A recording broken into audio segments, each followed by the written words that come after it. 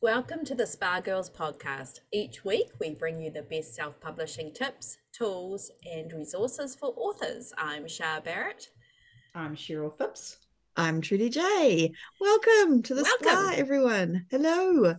And this week we have an amazing guest. We've got Sadie King. Say hello, hey, Sadie. Sadie. Hi, Sadie. Hello. hello. Now the You have awesome four New Zealand accents this morning, just saying. Yes, Well, that's yes. usual. Which the awesome true. thing about Sadie is she's doing really well in Insta Love um, short fiction, and she's also a New Zealander. Yes, even better. it's bonus points. so, so all our listeners are going to have to look up, look, um, put up with is what I was going to say for Kiwi accents, including guest this week, which is fine. You get all pretty much used to it, surely by now. Um, I'm going to read out Sadie's bio, and then we will get right into the interview. How about that as an idea? Sounds mm. good. Okey-dokey. Okay. Sadie King is the USA Today best-selling author of short and steamy insta love stories about strong, protective men and the curvy women who steal their hearts. Her books are high heat, oh so sweet, and always with a happily ever after. She lives in New Zealand with her ex-military husband and raucous young son. When she's not uh, writing, she loves catching waves with her son, running along the beach, and good wine, preferably drunk with a book in hand. Nice. That sounds awesome do you run like running on the beach as in you go for a run like I go for a run. Yeah. Oh, Isn't I- that really I'm sure hard running doing on- drunk. With a drink in hand. Yeah. That's lovely. It's Tough for your running. feet and legs. A very good workout though, like on the sand Yeah. by all accounts. Yeah. Not that I would know because I've never run on the beach apart from chasing after small children back in the day. But I feel I feel like that makes it you're making it unnecessarily hard like on the beach makes it No, otherwise it's concrete, you know, so it's Yeah. better for your, your joints and it's lovely. The the waves are crashing, the seagulls, it's yeah it's awesome. nice. it sounds beautiful Mhm. all right well let's get actually started on the actual interview that we're all here for um so Sadie let's um can you just start at the beginning and tell us how you got into writing in general and in particular self-publishing and give us a bit of a background on where you've come from Yeah. Um so before I wrote romance, I actually wrote um children's books. Um and it's been something that I'd always wanted to do. Like um, you know, I'd always loved writing, but it never really, you know, seemed like a, you know, a career option for me. Like I, you know, I didn't know anyone who was a writer. It wasn't something that that you do really. So I went into other things and then, you know, was always writing something and got to my kind of 30s and I was like, oh, you know, I really want to write a children's book. I should do something about that. Um, so I started kind of looking into that and did some courses and wrote a few things and like won a couple of competitions. I was like, well, you know, kind of got a bit of a roll. And um, you know, I was sending manuscripts out to publishers and agents and not having any luck. So I started looking into self-publishing. And it was when I was looking into self-publishing, I kept coming across these romance authors who were just, you know, really doing so well. And I said to my husband, I was like, oh, if I could write romance, you know, I could really make a killing in this. And um, I was like, oh, but you know, I can't write romance. And I was like, I don't, you know, I don't even read romance. Like, I was, but then I was like, do I? Hang on a minute, do I? Because it was all kind of American. Um, what you know, the the stories I was hearing, and we were living in the UK at the time, and um, I was like, well, actually, I do read romance. It's called, you know, it's called like women's literature, and it's, Mm. you know, it's got nice flowers on the cover. It's, you know, it's a little bit different. So I started reading kind of more American um, based romance with the, the male torso and and all of that. And I was like, oh yeah, you know, I you know, I do read these stories. These are good. Maybe it's something I could do. Um, I'm gonna, you know, I'm gonna give it a go. And um, so I wrote my first romance, and it took me months because I was at that time I had like a young baby, and I was commuting into London. I had a two-hour train ride every morning and a two-hour train ride every back every day back, um, which was good writing time when I could get a seat. Um, so I wrote this this this romance, and um, then I was learning about the marketing. I was like, oh, okay, I kind of need least three of them before I put anything out. And I was like, that's going to take me forever. And I stumbled across short romance, and I was I now how I did that because I was looking into categories and and looking at um, you know what might be um, you know, quite kind of marketable categories. And I stumbled across the short reads because we don't have that in the, you know, the UK Amazon doesn't have that. Australia Amazon doesn't have that. So it's an it's American thing. But I found these like short romance books. I was like, huh, what are these? And I read a few, and I, I was just hooked. Like, um, the I mean, the authors at the time it was a, Olivia T. Turner and Jessa Kane and they're just these like over the top stories, these like little kind of snippets of happiness, really. And I was like, that's what I want to do. I want to do that.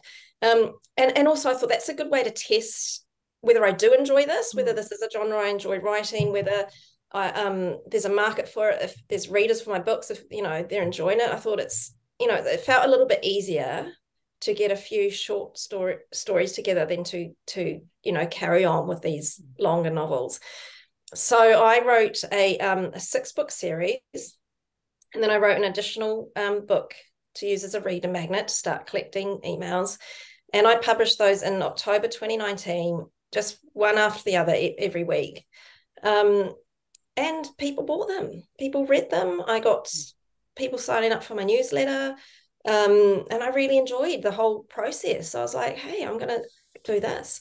Mm-hmm. Um, and then, of course, what happened uh, in you know early 2020 was uh, yeah that year.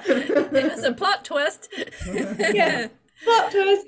Um, I was stuck in the house for like three months. um, so I just kept writing and I kept learning.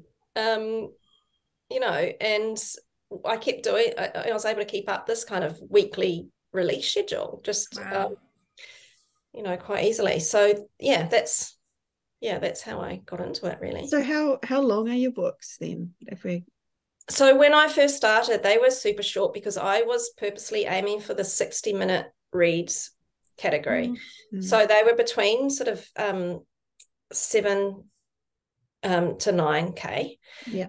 Um so if you don't know there's these three categories in the short reads that are that are very popular with um, short romance readers. Is the, the one hour, then 90 minute, and then two hours. And Amazon goes on page length rather than word count. So it does vary by by author. But for me, because my, my books are quite dialogue heavy, um, they um, it, you know, it's usually between sort of under 9K, that would be 60 minutes. Um, other authors, you know, it might be a little bit different than that. Depends how you format it as well. Mm-hmm. Um, so yeah, so so at the start they were very short um, because I was hit. I wanted to hit that that one hour category. Now they're they're they're a bit longer. They're usually now um, I'm writing between about sixteen to 20 mm-hmm. um, twenty thousand words. Yeah. And, and is it very different between those three categories? Like, is there a, you know, are you a 60 minute reader and you'd never read the two hour ones, or are they no, I think the the readers will read. Um, you know, if they if they like find an author they like that writes in those categories, they'll read them. There are there are um forty five minutes, and there's thirty minutes. There's even fifteen minutes. Wow. um, I've never written in those. Yeah. Um, so with your um, longer word count is that two hour reads or like the 90 yeah. minutes two hours yeah i'm mostly in the two hour reads now i do mm-hmm. have a few books um that are that are kind of in the middle sort of yeah. You know 12 14,000 words and they'll they're in the 90 minute reads yeah mm. but mostly i'm sitting in the two hour read category right. okay yeah. and that doesn't matter that they're in the different categories there it's just well people will find them or... um it does in terms of visibility so mm-hmm the 60 minute category is a bit less competitive. So that's why I chose to start there. So if you look at if you're looking at if you're looking for ranking, um, it's easier to rank higher in the 60 minute category um, because yeah, it's just a bit less competitive. Mm-hmm. Um, and then 90 minute category gets more competitive and then competitive, and then two hour is um, more competitive. So um, yeah, when I was first starting out, visibility was important to me. And at different times it has been, but now that's not so important. So um yeah, I quite I quite enjoy writing longer and also you get the um longer page reads. So I'm in KU. So it does make a considerable difference. Um, to me really um, to have those longer books and to be getting those page reads. Yeah. Um, but yeah, it depends, you know, what you're trying to achieve as a writer. Um, you know, if you are just starting out, it is quite hard to compete in that two-hour category of visibility is important to you. Mm. Yeah, Yeah. Um, that makes sense. total Yeah. sense. Yeah. And just quick question: How many books in total do you have now here in 2023? Um, so I've got over a hundred. Um, wow. Wow. yeah, I couldn't tell you the number. Once you get over a hundred, you kind of stop counting. Um, it's probably something like 120, Okay. something like that. Not, I'm Wow. not, yeah, around That's that. awesome. Um, yeah, and and I have some box sets as well. Yeah. Yeah. And that's cool. Super impressive. So we're coming up four year published versary. So it is Yeah. incredible. Congratulations to you. That's a lot of hard work in there. Oh, thank you. Yeah. And what and I what would you imagine say? It's, would would um, be quite hard getting covers as well because if you're that prolific, you're always on the lookout for them, aren't you?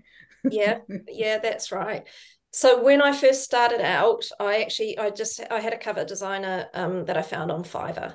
Mhm. um, so he would do them for like um, 10 bucks. It was like 10 bucks a cover.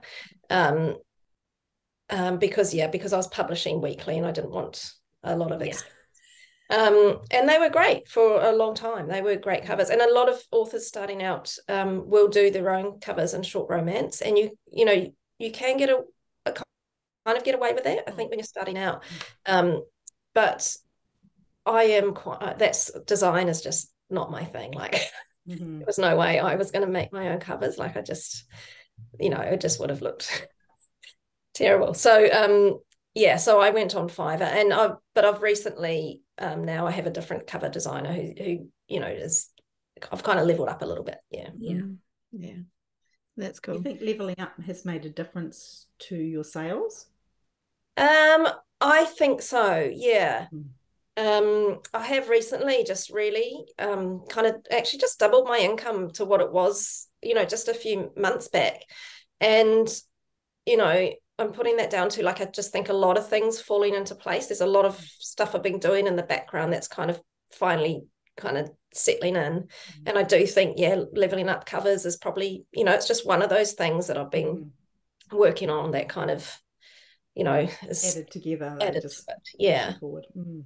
yeah. Mm. I want to come to back to that. I want to pin a, put a pin in that.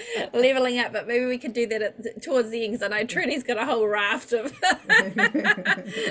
things she wants to go through. I just I just wanted to sort of get some basics around you know exactly what you're writing and so is there a so with Insta Love um is can it be any genre and what and what is your genre in particular like are you do you always write in one kind of area or can you sort of is it a, a wider band Um, so I mean, with in Insta Love, there's, I mean, there's as many genres as there are in any romance. You know, if you want to write um paranormal or shifter or alien or um sweet or Christian or you know, there's there's there's all of that there. There's the readers for all of that. Um, I write um my genre is contemporary steamy and and I say Insta Love, but some it's not it's not actually always Insta Love. Sometimes I'd, I'll do a second chance. Um, you know, there's certain tropes that lend themselves well to to short romance. Yeah. Um, I mean, obviously, Insta Love is one of them because you don't have to, you know, you, you kind of got to get to the guts of it pretty quick. Yeah. So, so you know, they see each other and they're instantly in love. Like, Yeah. cool, just you know, that saved yourself twenty thousand words just there. yeah. And all Um, the angst. yeah um so i tend to write um I mean, and the, the the beauty with short romance and being quite prolific is you you you can experiment, you know, and I've Mm. really enjoyed that.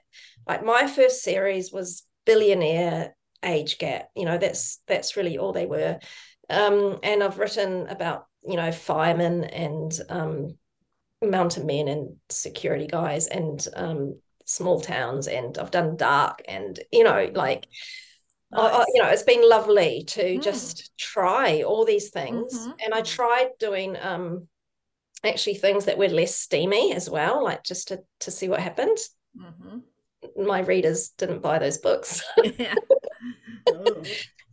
so you know Yeah. um that was a good lesson but um yeah i you know i've i've spent a lot of time like trying to because you can so quickly you know like like you you you do something and and find it doesn't work you can just cut that series really quickly like Mhm. i've done that um where i've you know i've planned a six book series and then it, i've see oh this isn't really going Mhm. well i'll just keep it to four books you know Yeah.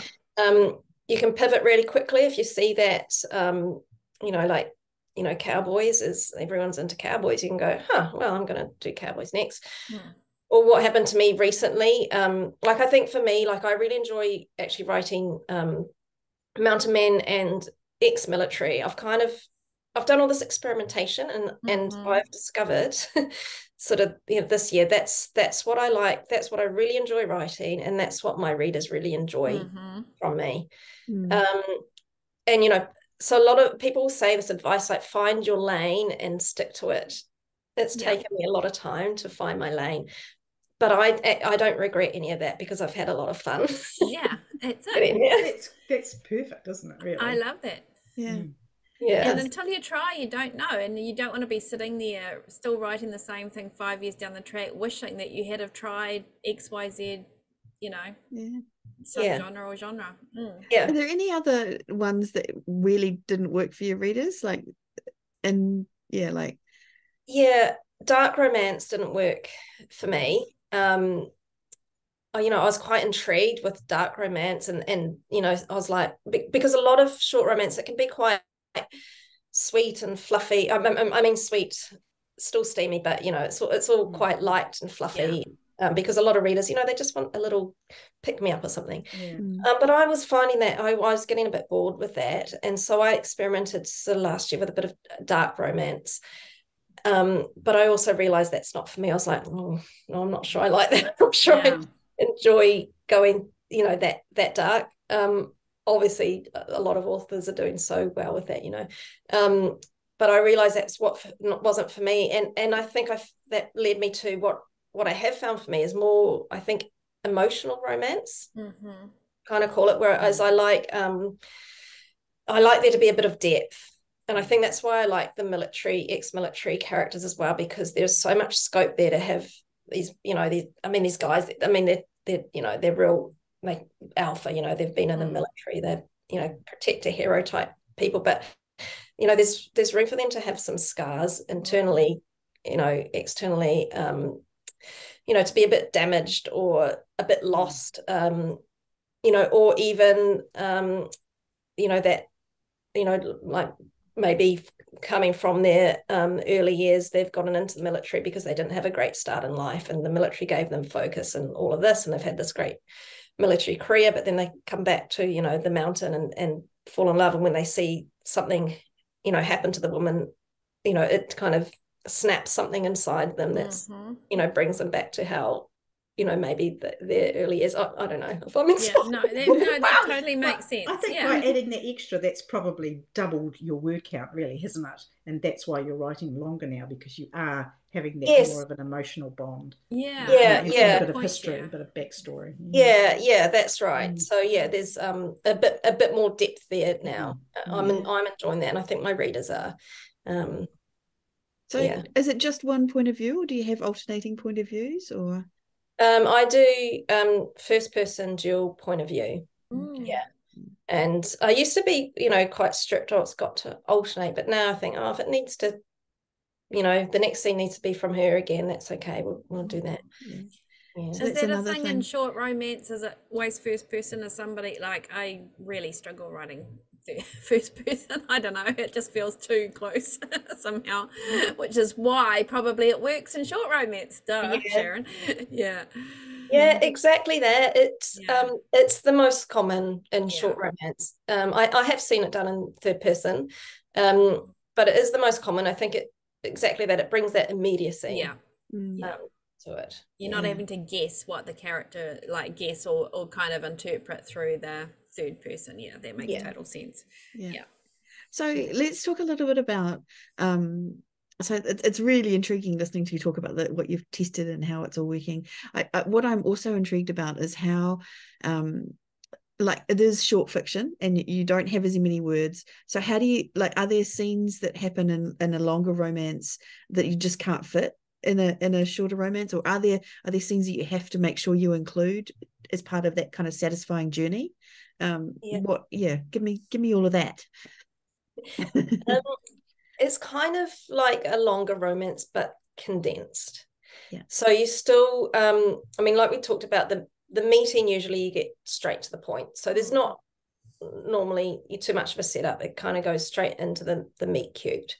Um or if it's second chance you know re-meeting whatever. Um and then you've got to just kind of get straight into them you know thrown together it's always good if they can be thrown together um, still. And, um, you know, you get what short romances, what I find my readers, particularly, well, I think most short romances, they do like steaminess. Mm. So you kind of need to get to some steam pretty quick. Um, not always, um, but yeah, yeah, they tend to like the steam sure. So yeah, if you can get to the steam pretty quick, which doesn't need to be, you know, all the way, but you know, something something going on there that's steamy. Um, you kind of need to get to that. Um, and then there does need to be conflict. I I believe.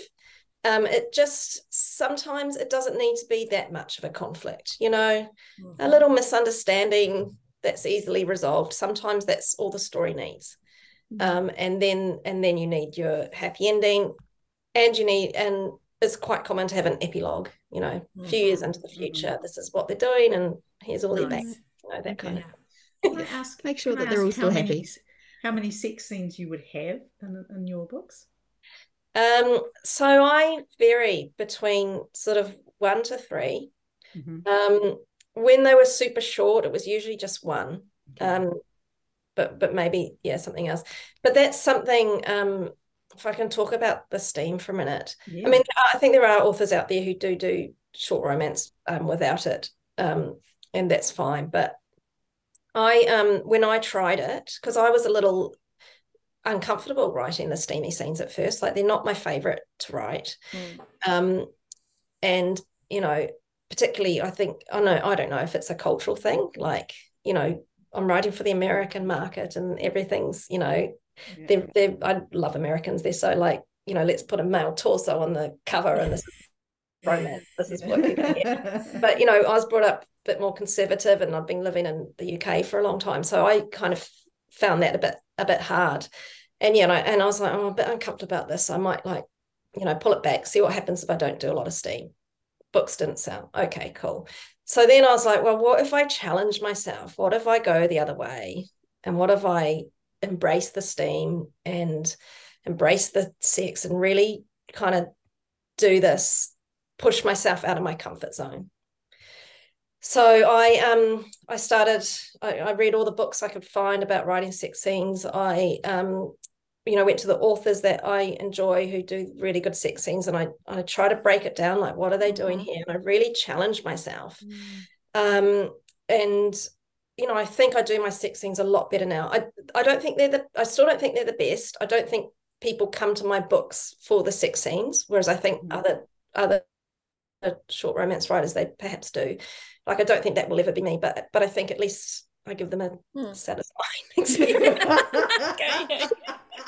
Love it. I love that. Love it. Yeah. I love that. Yeah, same. I think that's awesome. I like the Yeah. going, especially going to other authors' sex scenes. Like there's certain Yeah. authors that I can think of straight away that I'm like, right, I know they do a good sex scene. Mm. And it's not Yeah. always because they know where bits go, but it's the emotional and the and the story is continued as part of the sex scene. Yeah. Like that's yeah yeah. and it's the rhythm of it that's kind of throughout the whole story you know you need to build that anticipation Yeah. and particularly i think in short because it, a lot of the time like you know your reader will read this in one sitting Mm. so kind of that that journey through the book is quite important so Mm. you know you do need a bit of um titillation at the start you know yeah. so, you know, you know it can build up and then and and you know they might do things to each other yeah. and then and then the end kind of you know climax is the full Yeah.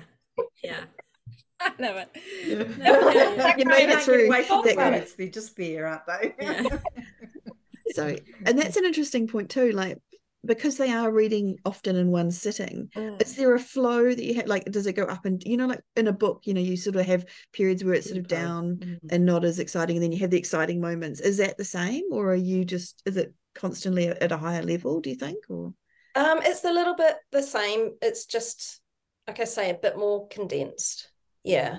Mm. So you wouldn't spend a long time kind of, you know, describing, you know, a slow walk that they went on or something. You know, if they, you know, if they're having like a, a date somewhere, um, you know, you might have a bit of dialogue to show maybe the, the banter or or something that needs to be shown, but then you might just skip like, oh, I held his hand the whole under the table the whole time. Or, I mean, you wouldn't Mm, like mm. that, but you know, Yeah. you kind of there there is sometimes you just need to tell Yeah. a little bit a little bit just to just to Yeah. just to jump on like you don't want to spend you don't have the luxury to spend too much time So, so how many words do you have in a chapter and how many chapters per book? I suppose I could do the maths on that, but um, so i tend to at the moment somewhere between i don't know 12 to 16 chapters yeah right. um Yeah. like i don't i don't you know i don't try and keep it the same every book really No. um and so uh, the chapters will vary between i aim for about 1500 words Right. sometimes they are a lot more depend if i'm dictating they can be like you know i'm like oh that's a 3000 word chapter how did that happen you know um so i don't kind of i don't try and structure myself that way. Right. okay. So when you start out writing, do you have kind of like do you work on like Romancing the Beat outline like or or is it just the story? How do you do you or are you just like sit down and let's see where this goes? um so i do i do plan i do Mhm. plan my books um and i kind of scaled down the um you know the Romancing the Beat Mhm. um yeah i you know kind of took her beats and just kind of scaled them down for Yeah. short romance Yeah. um and when i first started out i would kind of plot out my stories a lot more so i'd go through what are the beats and you know what's this character and um you know for i, I write in scrivener so i'd have like the notes up and i'd be you know writing things and, and then making sure like oh right does each scene have the you know what are their thinking Mhm. their motivations you know i do all that Yeah. and i've found because i'm doing it so often now i actually don't need to do as Yeah. much prep because it's kind of it's kind of all there Mhm. now it comes out instinctually you know It makes total um, sense. You're you're an experienced craftsperson, like as Mm. in you've over a hundred books. You've got that, you know, it's part of your muscle memory now, I guess.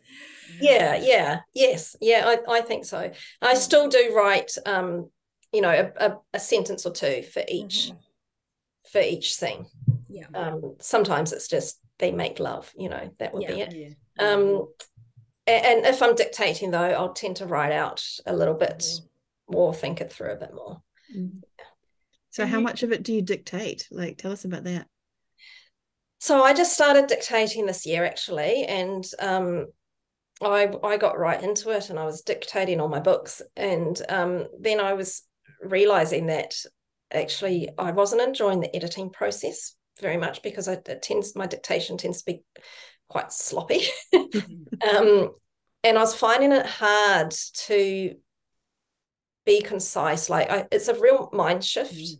I, f- I find dictation. Um and so i've pulled it back. And now what i've found works is i is i hand type the first couple of chapters and, be, and then i've usually got the characters solidified and the settings and then um i'll just see how i feel then for the next session and and usually towards the end of the week i will dictate because i'll have like you know just want to get it finished and i'll be like right i just need a, a good session to get this done in the time Yeah. frame i want to Yeah. um so that's kind of where i've got to but yeah i've found with dictation like i even started going back and doing um writing exercises but Mhm. dictating them Mhm. because i was finding it yeah very hard to think in that way think Interesting. yeah Wow. That's very cool. So and can you tell me about your process? Like so and you you're publishing one a week still and how far ahe- are you writing it and then publishing? Who do you have someone editing that kind of stuff? Can you just Yeah. take us through that? Um, so at the moment, I'm publishing fortnightly. I've moved to a fortnightly schedule. Yeah, Um, so when I was publishing once, um, when I was publishing once a week, I was writing my book. So what what I would do is um, like Monday would be planning, write the first couple of chapters. Tuesday, write four chapters. Um, Wednesday, finish it off. Edit it Thursday. Do a final edit. So I always do two rounds of edits. So the first edit is um, you know, filling in plot points and research and tidying up. And then I do a third edit where I um, read it out loud, and I like to do that all, all in one sitting to see how make sure all the flows there. And I read it out loud to myself, and that's that used to be able to be done in like you know an hour or 2 Mhm. Now my books are longer. That process takes longer. So now, um, so yeah, yeah, I would when it was when it was one a week, I'd do it. I'd write a book in a week. I do have an editor, and I've got a US based editor, so she can pick out any, um, you know, when I say garden instead of garden, Yeah. or you know, you get these really cool Mhm. edit notes. She's like, we say jerk off, not wank. that is good to know. yeah, yeah. Well, we, we, yeah. Ah, good. So, God bless um, the, the English language differences between the between us and the colonies and the, and the Americans. Uh, Yeah, so now that I'm doing a book a fortnight, I I take a week, a leisurely week to write a book, and and I do tend to yeah. So Monday is still my kind of my planning day, and um two scenes, and then four scenes, and I don't really worry about word count on a given day. I'm more more interested in how many scenes. I know how many scenes I need to write. So four on a Tuesday, four on a Wednesday, right. finish it up on a Thursday. And then that gives, and then Friday is a bit of a run over day if I need it. And then I'll edit it the next day. But yeah, I find if I'm dictating, the edit takes a lot longer. Mm. Um, so yeah, that's that's the process really. That's cool. And are you far quite far ahead, or do you just are you running to the deadline? Says the says the running to the deadline person. um, it it kind of varies. Um, I get ahead, but then I take time off. So I take time off during this. Well, I say time ti- time off. I don't write during the school holidays, um, and that means, um, you know, that's like two weeks every ten weeks, and then over the last two years, over the Christmas break, because you know, obviously in New Zealand, that's our big holiday. Um, I don't write for six weeks Mhm. um and that just you know you need a break because Yeah. it can be um you know it can be quite taxing obviously Mhm. Absolutely. so i tend to get ahead and then i get behind but i um i'm always i'm always i try to always keep a few weeks ahead like i don't like to put up pre-orders too early um until like i can really guarantee that i'm going to have that book done like usually the book's already you know started or it's Yeah. about to be started yeah Mm, yeah, that makes sense. Okay, that's awesome. I feel like we've asked all the questions we can possibly think of in terms of your strategies around writing and, and kind of publishing the books. So I'd let's get like on to to ask them. about um, Oh. the series. Oh, series, yeah. the series, like how many books in the series, and also, um, you know, thinking up the new themes. You've, I mean, you've given us a big list of um, the tropes and all that, but yeah, I just wondered how that works for you because you know you're so prolific. Um, yeah, so I um I've always written in series, and then um, you know, a few years ago I discovered shared worlds, and that was like like a Oh, bit of an eye opener. Like I was like, oh yeah, that's um what you do to interconnect everything, right? And um so series is great. And, and and also i got it quite wrong at the start. I was like writing a series like these are this is a billionaire series but they weren't connected in any way. Uh, you know and it took me a while to cotton onto that as well like oh right. So if you're going to write a firefighter series they're all in the same firehouse you know. Um and then when i realized about shared worlds i was like i, I published this series um and I kind of backtracked and started connecting my next series to it. So it was it wasn't very planned out, and that's a world called Maple Springs. And um, you know, I wrote kind of a bunch of series set in the shared world, and and Candy's Cafe was one series set around this cafe, and then that became the setting that was always in just about every book someone would pop in there for a coffee or meet one of the people from there um, so i tied it all in that way and um, and then when i went dark i was like right i'm going to start a new shared world because now these are a bit darker so then i've got the sunset coast which is a shared world and those books you know i was like oh dark isn't isn't for me so this year was the first time, or, or, actually towards the end of last year, where I sat down and like thought, I'm going to plan this shared world. I'm like, maybe that's how you meant to do it. That's a good idea, um, yeah. And I got this big piece of paper and I got my son's felt tip pens and I was drawing mountains because I also went back and looked like what had been my best selling books, um, what had my readers loved, and what had I enjoyed and it was mountain men it was and it was and it was ex-military and um, so I was like, right, that's that's what this is going to be. And I came up with Wild Heart Mountain. I, you know, drew it all out, and I was like, mountains, and maybe there's like an MC there because I quite like writing those, and my readers like those. And maybe there's a lake, and there's a lodge, and that where I could bring some billionaires in. Mm. And then my son came home. He's like, oh, what are you doing? I'm like, oh, you know, creating this world. He's like, can I help, Mama? And he he added like a racetrack.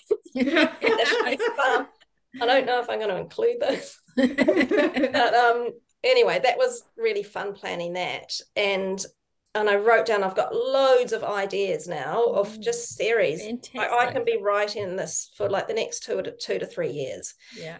Um, and you know, and I just I started with the, the ex-military mountain men, and then I was going to do these other mountain men, and and but what happened? I started publishing these, and just suddenly everyone was publishing mountain men, just you know, all at the mm. same time, and I was like, oh, and and that's what's what's great about short romance. I was like, okay, I'm going to do something. I'll do the MC, the mountain men, the ex-military mountain men MC.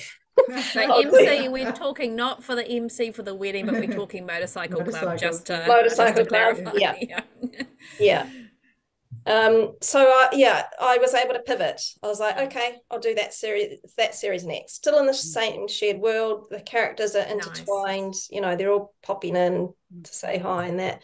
Um, and you know, I'll come back to the other mountain men. That's fine. But but but that's yeah, what I love about short romance. You can just quite yeah. suddenly change when you need and the to. other thing is just to clarify when you say shared world it's shared with the with your books and your characters not with other authors so this is basically mm. your version yes. of you know sadie king disneyland that she's created yeah. and that the characters take part in yeah, yeah i love that mm. love that yeah I love the racetrack. I think you definitely need to do racing car drivers. I'm just saying. Yeah.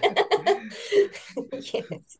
Could be rallying rally cars. I would rally think car? if it's in a mountainous region, it might be hard to get the flat land. A disgraced IndyCar, a disgraced IndyCar yeah. driver goes back to the go. mountain home that he once knew to yes. rekindle the love of his. there you go. Um, oh, and um, actually, the other thing I wanted to say about series as well is um, it's I think it's important when you're looking at short romance is to when you're planning your series, like you've got to really look at it as a whole. Um, so I you asked me also about how many books. Now, when I was writing short, very short, I was doing six book series. And there was um, the reason for that was I was thinking about the marketing of it and the box set. Yeah. Because when I was writing very short, I was writing at the 99 cent price point. And 99 cent with and I was in KU, so with Amazon, you know, you only get the 30% royalty. But when you put these books in a box set and you can sell them for, you know, 2.99 or more, then suddenly you've got the 70% royalty. So I was writing six books and I was very soon bringing out the box set so that I can then encourage people to go and buy that um mm-hmm. that box set, you know, and get get more money for me. Um, and I was giving it at a price point. So, um, you know, six books at 99 cents, that's well, almost $6. So then you, uh, you want to kind of, us, you know, you want to give them a bit of a bargain. So I was pricing them at 3.99 so that even if they've read one book and then they see, oh, there's a box set, they still think, oh, well, I'm getting a bargain because this will be cheaper than buying the other five individually. so that was quite a that was a real strate- strategic decision and Mm. about how long my series should be now that i'm writing longer and i'm writing at the 299 price point Mhm. um that's not a consideration and i actually haven't done any box sets since i've been at 299 because um, Oh, from a you know um a money point of view that's you know now i actually want people to to Mhm. just read all the books um i i will do box sets because um i think it's nice and you know people like them so i will do them but there's not such an urgency to bring them out um and so i started writing in five book series because i thought well then i can do the same thing. I can put them as 9.99 which is the most you can do while still getting your 70% royalty. Um so so yeah there's a bit of a you know Mhm. s- a strategy behind that. Yeah. And and when i um, write in the series i'm planning when i plan my series like i tend to i plan it all, all out before i write the first book. Mhm. So i look at um, what tropes are in the series i look at the characters um, and and i look at I now I've started looking that I'm writing, you know, a bit more emotional. I look at the kind of like the emotional flow of the series. Mhm. So um, you know, just for the for the series I'm writing, I just did like quite a, a an emotionally um, I don't know, um, a tug on your heartstrings kind of a book. Um, and so the next one is a bit more comedic because again, if someone's reading this series and they might read them all, you know, in a day, even Mhm, some readers, or in a in a week, then that you know uh, that uh, might be a bit too heavy for them. yeah so that's the ebb and flow of the whole series, not It's just the the flow of the whole series, yeah. Yeah, and you awesome. can have fun with your characters as well like i like um starting with a group of men that are bonded in some way so my military heroes they're all um you know they were all in the same unit and they've you know they just happen to now all be living on the same mountain. Yeah. As you do. Yeah as you do. um so i had a scene in the first book where they're all they've they've come into this bar um that that that's quite integral to the to the setting and um you know for their their monthly meetup and you know that there's the one guy who pulls them all together and and and and you you you kind of meet them a little bit and one of them you know calls and he can't make it because his nanny fell through and so you kind of know like oh there's going to be a single dad and nanny romance coming up Yeah. you know you can kind of Yeah. tease a little Yeah. bit right from that first book. And I had something set up in there as well, um, a, a kind of an, a, an off limits one that was a, a best friend's widow. Mhm. Um, and that was the last book in the series. And I quite like doing that, making the last book kind of the forbidden love because it Mhm. can simmer throughout the whole of the other books. makes Ah, nice. sense yeah Yeah, oh, so then when the yeah, when the readers get to that last book, they're like, oh yes, finally we get Yeah. the one. yeah their story. Oh, We've that's all watched smart. those TV programs, haven't we? You know, where Yeah. will they get together? Won't they? They shouldn't, but you know, and you keep, even though the other ones are resolved. I love that. It's Yeah. really cool. Really cool. Yeah, that's smart. I hadn't any- thought about that at all. Like that that you'd have to think quite so Mm. strategically about the the the type of story that you're telling in each in each book. That's awesome. Yeah. Mm. Can I ask for your reader magnets? Did you do, obvious, I'm guessing you did it in the same world or similar tropes. How do you, so what were you using for your reader magnets? Like, were you keeping a spare, not quite as, you know, long story or just, yeah, if you could just talk about that. Um, well, yeah, I just wrote an extra story because they're not that long anyway. Yeah. Yeah. And, you know, when you can sort of just do it in a week, that's Yeah. yeah. And I've had a few different reader magnets because I, I also found my writing has evolved so much. Mm. Um, you know, like it's it's been such a journey for me, and and because I think what what held me back for so long, you know, over the years of my life when I really loved writing was this feeling that I wasn't good enough Mm. you know um and that how me that you know that really uh, you know it's i you know you st- i still feel that that imposter Yeah. syndrome you know and and that's what i found with short romance i mean not that you know you, you do need to have some craft to be able to string a sentence together but it doesn't have to be polish you know? Mm. like i know my strengths and i know my readers. They enjoy my characters and they enjoy my story. So i'm i'm, I'm never going to win literary awards you know i know that um but I, but my writing has improved Mm. so much since my first books you know? So i was updating my reader magnets basically about every six months to kind of fit in with the new shared world um, and also just because I, I think I can give my readers better now. And I want that reader magnet to be my best work. You know, I want Yeah. it to really reflect um, you know, what I can do because because it's so important because Mm. they're going to read that and then go, yes, it's worth I've got this for free, but now it's worth buying these other books because I really enjoyed that. Mm. Love that. Yeah, so how that's many have you got sort of out there at the moment in the in the wild for your reader magnets? Like are you working with one or two or Um, I've got three at oh actually I've got four at the Mhm. moment.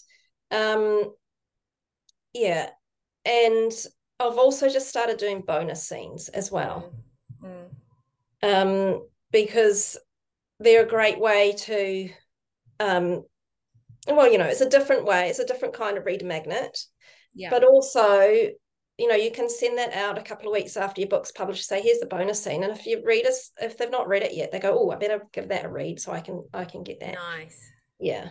Yeah. So I've just started doing bonus scenes as well. Yeah.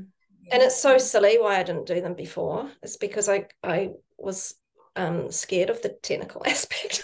it's not trust me everybody listening will relate to the Yeah. imposter syndrome and also not doing something because yeah the Yeah. tech can be scary Yeah. you know Mm. and and overwhelming more so in our heads than in the actual practicality but we Mm. all we all feel that so no Mm. it's not Mm. it's, It's true. it's- yeah Mm.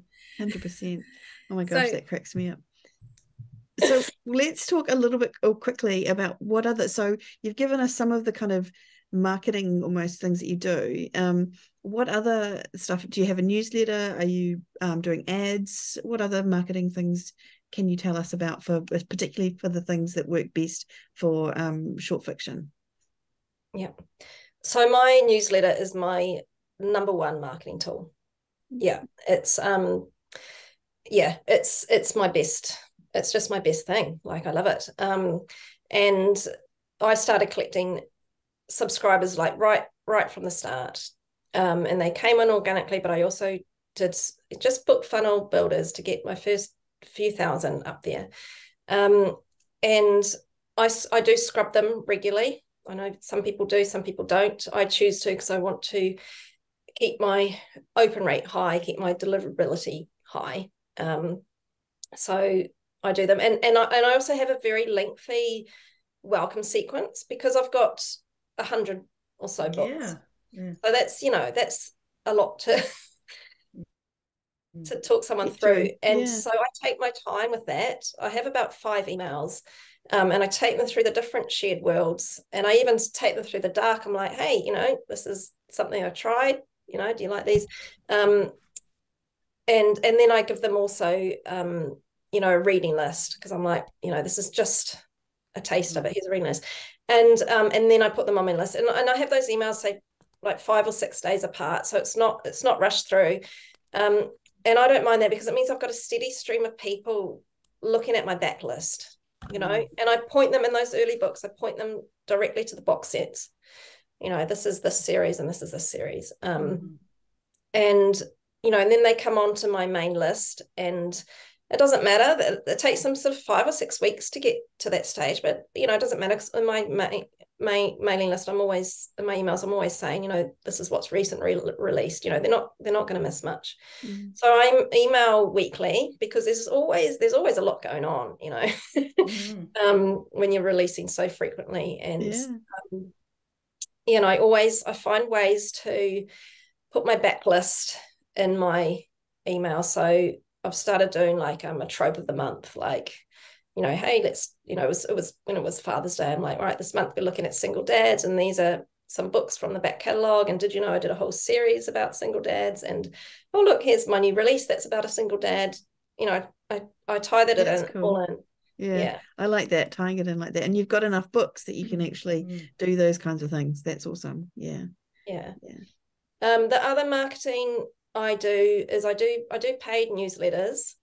um, on my releases, and there are some there's some out there they've got that are very targeted to short romance. So Growing with Heart, Insta Love uh, Book Club, um, Read Me Romance. You know, they they're all they were all set up by short romance writers, so their audience is very targeted. Mm, So they're my like go to. Um, nice. yeah um but but also i should say as well thinking when i think of the series like i don't um i don't give every book the same kind of push. Um you know like be, because because i'm releasing so often um i will choose you know a few books in the series that are getting the main book main push. And and actually i often don't know what they are until i until i'm writing them. And then i'll get a feeling i'll be like writing this book and i'll be like ah this is my best work yet you know this is the book I'm gonna my readers will love this. This is the one I'm gonna push and and and I'll do things and um you know I do sometimes I do blog tours. Um Silver Dagger is is one that I like. Um I have started doing I, I do do advertising now. So um that's when I when I was writing at the 99 cent price point, I tried advertising on different formats. It didn't really um, find it to be to to really work for that price point. But with the two ninety nine, um, it, it, it it's it's been working for me. Um, yeah, that's been like my focus. Like this whole year, I just wanted to choose two things to focus on, and I said my email and advertising. Um, everything else, I'm not I'm not going to worry about in terms of marketing. I mean, in terms of well, you know, apart from the paid, news, paid newsletters I just mentioned. So yeah, I've, I've, I've really leveled up my newsletter. Like I, I just talked about, I did the, um, at the start of the year, I did the, um, Tammi's, um, you know, in the newsletter. And then, Mhm. yeah, Yeah. I did her advanced automations yep. course. Yeah. So yeah, she's got this amazing advanced automations course. Excuse me. I did that for my newsletter. Um, and that's when I, you know, created that sequence. And I've actually just redone my opening sequence because also six months ago, I didn't have enough books at the 299 price point to really be pushing. And yeah, and so I've just updated that because that's where I want to push everyone everyone now. So anyway, I've been focusing on that. I've been focusing on advertising and I just started focusing on Amazon advertising. I'm like, right, you know, I'm going to become an expert at this. I'm not, I'm so far from an expert, but it's starting to work for me. Um, so And how did good. you learn how to do that? What did you what tools did you use for that? Um, so way back when I first started publishing, and I was in the UK, and I was, um, you know, had this really awesome job in London. that- Well, you know, that was bringing in really good money, and I could, you know, spend money on all the things. Mhm. I um did the I, I got the Mark Dawson uh-huh. yeah um advertising for authors course. Yeah. and i mean that and that is an awesome course and it is worth the money if you can afford it. Yeah. i'd highly recommend that. So um you know I, I looked at a lot of that at the time. Didn't work out for me. So i've come back to that this Yep. year. And then i've found some other books and things um that i've been looking at because i was finding it hard the just making sense of all the information you get. Mhm. yeah Yeah. um but it's it is finally starting to make sense and i'm seeing that work which is really great. Mm. um so what i'm hoping in the third quarter uh, fourth quarter of this year to move on to facebook. Because again when i tried that for the you know it didn't really work for me but you know now i think i think i can probably get it to work to work. Yeah. yeah so those are those are the things that i'm i've choose, chosen to focus on. I don't do a lot of social media. I'm there. I'm there but um i'm not focused on that um, uh, um, uh, you know, a couple of reasons. One, I, you know, my time is limited. You know? Yeah.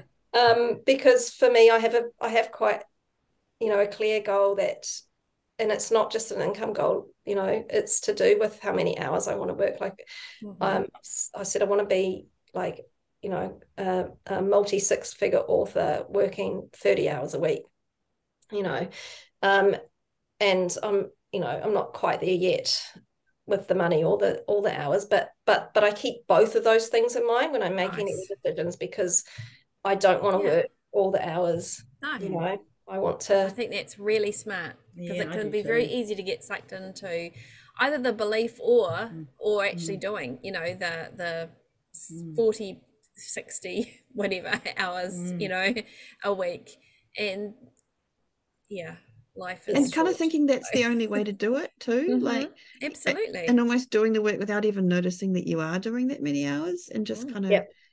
so being conscious of that and having that as part of your goal is i think really really smart i like that yeah yeah I yeah i really had to set those boundaries because um you know when it's your own business Mm. and, and it's something that you're so excited and passionate about you know you can just work all the hours right Mhm.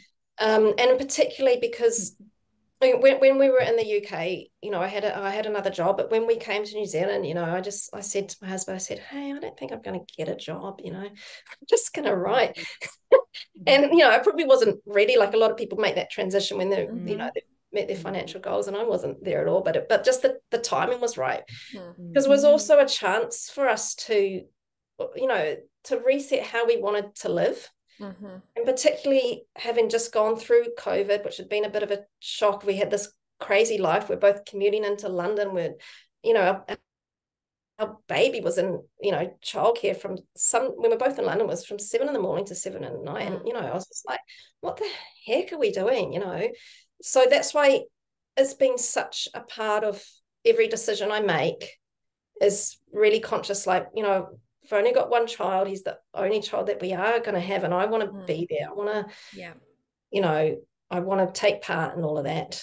Um, you know, because, you know, the because stupidly I waited until my late 30s to have a child and to change career.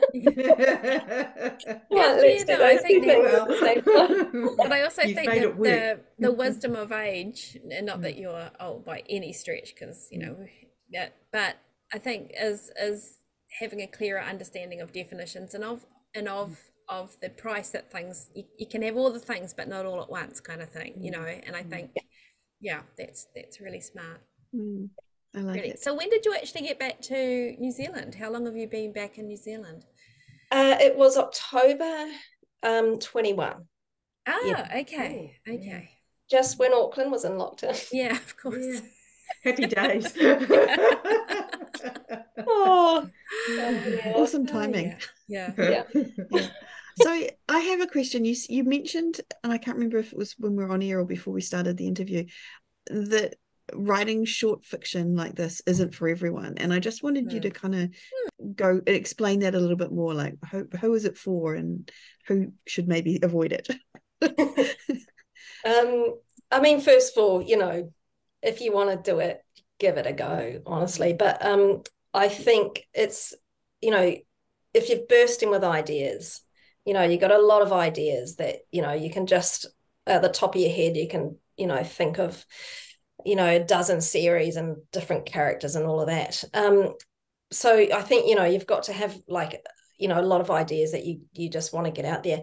Um, and it's also you've got to um you know it can be really relentless the schedule. I mean don't get me wrong like obviously you have people have different reasons for coming to writing and if all you want to do is just you know enjoy writing a few books obviously that's you know you know one thing. But if you want to have a career and make money then i think you do need to have quite a rapid release schedule. Not necessarily every week not even every fortnight but um that certainly helps particularly when you're starting out if you want to build a following like that certainly helped for me is Mm. that fast release schedule. Yeah. um and that can be very grueling you know? Um and and and and, and also I've found that writing short because there is a lot going on with family life and when I started my son was you know very young and I could only keep a short story in my head you know? It, and to have something like written and done in one week that that really suited me. And that kind of you know still suits me just to have it everything done quite quite quickly. Yeah. but the thing is you're then moving on to the next one and the next one. So yeah and it's not just the writing of it it's the all the tasks that come around releasing. You know it's the you know depending what you do yourself but you know the the formatting and getting the cover commission and booking your promos and getting it up on KDP and you know it's this there's a lot of work that's week after week and then as you do build that up, there's also your backlist. there's mm. this huge backlist that you've got to contend with. So, you know, it, it can be quite busy. So I think it suits someone who, you know, who who can be quite focused, who um, doesn't mind that week after week schedule. Mm. Um, but yeah, but but uh, you know, I've seen authors that do get burnout you know it's it's a it's a it's a real thing. I mean it's a thing for for any author for anybody. And i think particularly when short romance um because it can be that schedule can be quite relentless. So I, I would say if you're starting out like pick a schedule you can you can stick with. Mm. um you know short once a week is great once a fortnight is is great as well. But if you're not going to be able to sustain that then it doesn't matter. Every three weeks every four weeks as long as you're consistent with it it's got to, you've got to be able to sustain it. Yeah. Yeah, yeah that makes sense. So how do you actually just to quickly I'm imagining you're a spreadsheet queen, Sadie. Um, or how do you manage that massive backlist? Because just like keeping track of the links and the all the things. Yeah. Yeah, it's hard. yeah. um I yeah, I um I do have a lot of spreadsheets. Um, and I, I have spreadsheets for like my connected worlds. They're, they're just very basic. And then I have what I started doing recently is like a um, a press kit for each um, for each book, which is basically just a Word document, and it has the basic things, and I put the, all the links in there, and then I pull out um, when I'm doing my edit, I pull out quotes that I think, oh, I might want to use that for something, and then I go back and I do look at my reviews and I pull out good reviews that I think I might want to use. Um, so so I keep that all together. That's smart. That's really smart. Boy, that's a time saver when you're and yeah. for when you're running ads, you know, particularly mm. Facebook mm. ads, I can imagine that would be yeah, super helpful. Yeah. That's awesome. Mm. Are there is there anything else in terms of that that you have for um, anyone listening, anyone thinking of getting into Instalove, or any advice that you would give someone that how to where to get started, where to get going? Um, yeah, so you know, I think you need to be really and clear, clear from the start of um, what it is you want, mm. um, and then you know what your goal is. So so I know that's helped me, like we talked about, like knowing that it's not just about the money, it's about, you know, I want the life balance. I want to, you know, have less hours. Um, so I think being very clear about what you want and then and then having a goal and then working on your strategies to get there. So it's going to be very different. So we, you know, there's a, we've got a very active group on Facebook, um, writing Insta Love. Mm. And you know, someone there last week posted like, oh, I you know I've got a few books and I need to I, something's happened. I need to just make money very quickly you know and it's like well okay so to, if you if your goal is to make money very quickly that's great. It's a very different approach mm. to if you want to sort of build a business slowly so that in a couple of years you can leave your full-time job you know it's a very different approach. So make money quickly. I would get sort of six to 12 books and just release them very quickly every week um, you know that's what I do. But um, yeah. So, but yeah, just just know know what it is you want. Yeah. And yeah. and and then take the advice. And I, and I also think as well people focus too much on, you know, oh, should I be doing TikTok? Should I be doing mm-hmm. ads? Um, but actually, there's other things you need to have in place first. Um, you need to know like what your reader journey is. You know, um, so they've you know they've read your book. Re- reading the book is only half of it. You know what are they going to do next? Like have you got mm. you know your your pre-orders up for the other book? Have you got your reader magnet to collect your their email address? And once you've got your email address are you taking care of them? How are you turning them, them into super fans? Like you need to kind of get all that back end stuff in place you know and then and and, and even just getting them to read the book like you know the cover the blurb the keywords all those stuff that stuff has to be on point. And then you can work it worry about how to get your book seen. Mm-hmm. i think a lot of you know mistake a lot of authors made is how do i get this book seen? It's actually easy you know you can do tiktok you can do ads you can do newsletter swaps. Like there's actually loads of ways to get your book seen. What's really hard is to get people to read that book.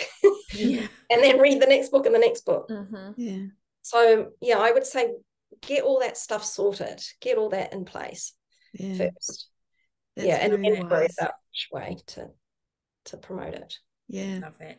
yeah, and also, just awesome. for anybody that's not familiar with the publishing landscape, there is no such such thing as fast money because even if you were to put six books up, you're not going to get paid next week for those six books from the uh, from the retailers. You know, Yeah. there's a, at least a sixty day delay, shall we say? So, Mm. yeah, it's not. Yeah, Mm. That is true. That's awesome. Well, I think we have almost gone over time today because we've been um, so fascinated by listening to Oh, everything my you have to say. Um, but so thank you so much for joining us in the spa Thank today, you. Sadie. It's been Oh, that's right. fascinating. Um, absolutely. so, where is the best place for people to find you? Um, you can find me on my website, which is authorsadieking.com. Um, and I and I do want to say that I am actually writing an, a non-fiction book about how, how to write short romance. Nice. um, Fantastic. yeah, so that's hopefully coming out um, probably next year, actually, early next year. But Let yeah, you know. can find a little Let bit about that. it on my comes out, and we can Let, let us spread know. the word. We'll make sure we put spread the word, and we'll make sure if you're listening to this podcast in the future and the book is out, we'll make sure that the link is in the show notes as well. Mm, Oh, yeah. perfect. So, thank you so much for that. That's been awesome. Um, and where can we be found, Shar? So we can be found for all our show notes and for the links and for the resources that Sadie actually mentioned in this interview. We're at spagirlspodcast.com and we are on YouTube at SPA Girls Podcast. If you are watching this, if you could give us a thumbs up and a, um, a subscribe, that would be super appreciated and that would stop me begging for um, more subscribers to our channel for vanity numbers only. And we're at patreon.com at SPA Girls Podcast if you'd like to support the show. Thank you very Awesome. much. So thank you all for listening to another episode of the Spa Girls podcast. And thanks, Sadie, for coming along. Um, yes. We'll be back again next week. But for now, goodbye. Take care. Go Bye. Kiwis. Thank you.